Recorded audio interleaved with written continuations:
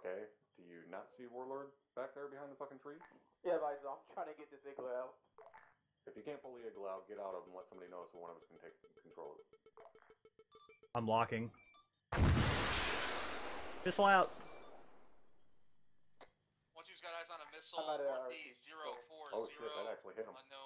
Ha ha ha ha!